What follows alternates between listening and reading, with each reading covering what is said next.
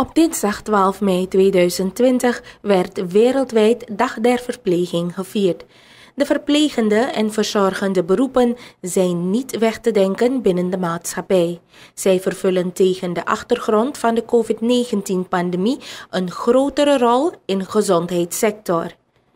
In dit kader heeft Rudisa International NV ten behoeve van de Surinaamse verpleegkundigen een donatie gedaan aan het ministerie van Volksgezondheid. Het gaat om 10 wasmachines, 3 smart tv's en een Kia Picanto. Het ligt in de bedoeling dat deze goederen worden verloot onder de verpleegkundigen. Hoe voelt u zich in deze vibe, deze hele stemming in verband met de Dag van de Verplegingen? Nou, het is een bijzondere dag en uh, na lange tijd dat we zo weer uh, bij elkaar kunnen zijn in deze aantallen.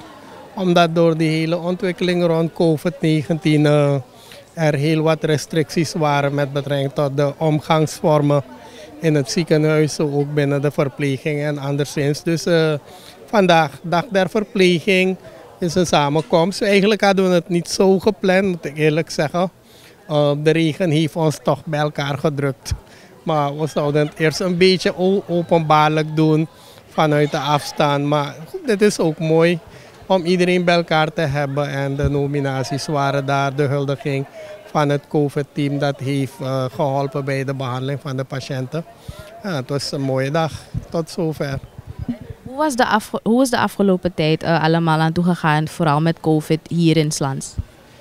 Nou, uh, laat me het zo zeggen, alle ziekenhuizen uh, binnen de Nationale Ziekenhuisraad zijn natuurlijk snel bij elkaar gekomen om zich te gaan beraden over de maatregelen die wij zouden moeten treffen. Uh, op basis van onze eigen verantwoordelijkheden rond het heel COVID-gebeuren. Maar vanuit het Nationaal uh, COVID-coördinatieteam onder leiding van het ministerie van Volksgezondheid hebben wij toch wel ons meer moeten richten op de instructies die nationaal internationaal uh, gelden. En waarbij wij dan onze laten we zeggen, beleidsvoering, onze core activiteiten hebben moeten aanpassen. Een van de uh, zaken die direct manifest was, was eigenlijk het wegsturen van patiënten die niet noodzakelijkerwijs langer in het ziekenhuis hoefden te liggen. Waardoor ons beddenbestand heel snel eigenlijk tot na meer dan de helft werd teruggebracht. En ook zo ook uh, ook de verpleging eigenlijk een beetje gesaneerd werd. En die werd dus eigenlijk uh, meer in de frontlinie opgesteld om de triages te doen bij de poort. Omdat ons moeder- en kindzorg eigenlijk een zorg is die niet uitstelbaar is. Zwangere vrouwen kunnen gewoon niet wachten met het uh, deliveren van een baby. Ze moeten een baby krijgen of ze moeten hier voor de acute zorg dan zijn ze daar. En die, die zorg is eigenlijk gebleven. Maar alle andere afdelingen uh, waar er geplande dingen waren, dus die zijn dus eigenlijk op een laag pitje gehouden. En waren de polies ook eigenlijk dicht. We hebben later uh, dus nu die polies opgestart.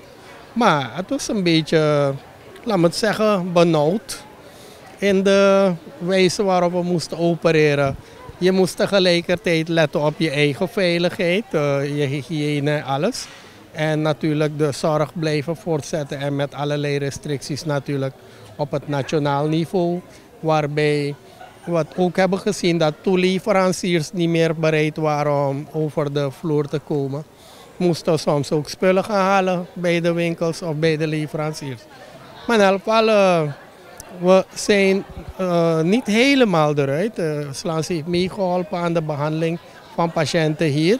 Uh, dat heeft natuurlijk ook een vrees opgeworpen. Op den duur kwam de bond ook op de proppen met ja, we zijn niet goed geïnformeerd. Hoe het zit met de veiligheid van de werkende mensen hier. Gelukkig hadden we die afdeling helemaal afgebakken. En was er beperkte toegankelijkheid tot die afdeling. Alleen voor de mensen die daar werkten en de bewaking hadden toegang. Maar nu is die afdeling helemaal dus ontruimd en schoongemaakt. En gaan we eigenlijk uh, back to normal op de afdeling. Die afdeling moet een opknapbeurt krijgen. Uh, de, de meest dringende werkzaamheden gingen door.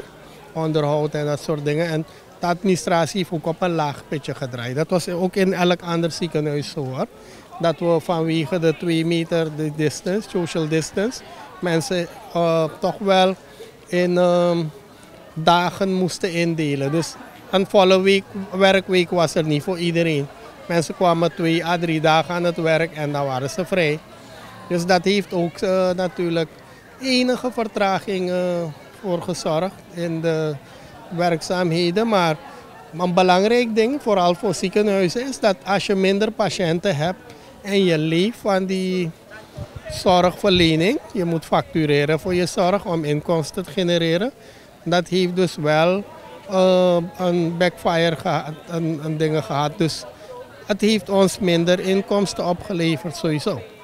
En het is natuurlijk ook voor alle andere bedrijven in Suriname. Maar wij als ziekenhuis zijn ook gewoon een, een bedrijf als het ware die moet leven van haar eigen inkomsten. En met al die voorzorgsmaatregelen die we moesten treffen en die uh, maatregelen om, om de veiligheid, hygiëne hier te garanderen, was er dus heel veel extra kosten bijgekomen. Um, en dat tegen de achtergrond van teruglopende inkomsten. Dus we hebben nog geen echte um, compensatie gehad, financieel vanuit de overheid in die strekking om die derving uh, weg te plussen. Maar uh, ik denk dat dat nog moet komen. Dus uh, het is toch wel uh, randje kantje nog gelukt om te continueren met dat wat we eigenlijk ons konden permitteren. jullie hebben een viering hier vandaag. wat kunt u me erover vertellen? Ja, het is de viering van de Dag der Verpleging 2020. Helaas niet zo uitbundig als we hadden gedacht. Want het heel jaar is uitgeroepen door de WHO tot jaar van de verplegenden en de vroedvrouwen. Uh, en er waren een heleboel activiteiten uh, in planning. Helaas door het COVID gebeuren is alles een beetje ingeperkt. Maar we konden deze dag niet ongemerkt voorbij laten gaan. Vooral omdat wij dus ook een deel van uh, de COVID-patiënten hier in dit ziekenhuis hebben opgevangen. En hoe voelt u zich in verband met deze dag?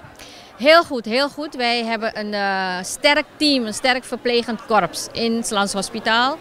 Um, ze zijn gedisciplineerd, ze zijn uh, trouw aan hun werkplek, ze zijn flexibel, uh, ze denken mee.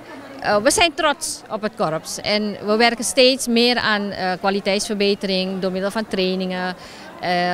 we zetten ze overal in, we, we, maken ze multidisciplinair en dat, dat betaalt zich terug in hun inzet en overal in het ziekenhuis. Dat hebben we echt met deze crisis ook wel gezien. Jullie hebben een viering hier vandaag in, ver, in verband met? Dag der Verpleging op 12 mei 2020. En hoe zijn jullie allemaal ermee begonnen hier? Zoals elk jaar hebben we een viering van 12 mei, Dag der Verpleging. En zo ook van het jaar. We vieren het gewoonlijk heel groot. Maar vanwege de COVID-19 maatregelen die ze hebben getroffen, moeten we het dan in heel klein doen. Uh, we kregen de opdrachten van de verpleeg, verpleegdirecteur om uh, uh, de dag te organiseren. En um, dat hebben we dan gedaan. U bent een van de acht mensen die ook genomineerd is geworden van de heer Edam, denk ik. Kunt, kunt u me daar even uitleggen? Eerlijk gezegd, ik had het absoluut niet verwacht.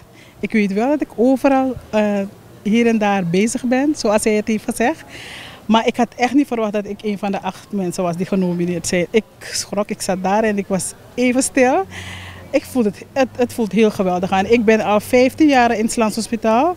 En dit is de eerste keer dat ik echt um, ja, in de bloemen gezet ben geworden. Het voelt heel goed aan. Is er nog iets dat u zou willen toevoegen aan dit gesprek? Ja, ik hoop dat we dat natuurlijk de coronapandemie helemaal, helemaal van de wereld weg is. Zodat we alles wat we doen, dat we het uh, met uh, heel veel liefde, heel veel passie, uh, vooral in het Lands Hospitaal, onze doelen kunnen bereiken. het is een heel bijzondere dag, voor mij, voor mij vooral en voor alle verplegers over heel de wereld. En wat hebben jullie allemaal hier gedaan? So, we, hebben, we hebben de dag der verpleging gevierd. En er zijn zo er zijn zo ook mensen genomineerd ziekenverzorgende, verpleegassistenten, verpleegkundigen, verloskundigen van het jaar 2019-2020. Natuurlijk kan je niet ieder een, uh, nomineren, maar alle verplegers worden gewaardeerd. En ja, het is hun dag vandaag. In de afgelopen maanden, vanaf het begin van dit jaar, hebben wij als gemeenschap en als mensheid weer een wake-up call gehad. 2020 heeft ons eraan herinnerd dat gezondheid onschatbaar is. En daardoor ook alle mensen die helpen ons gezond te houden.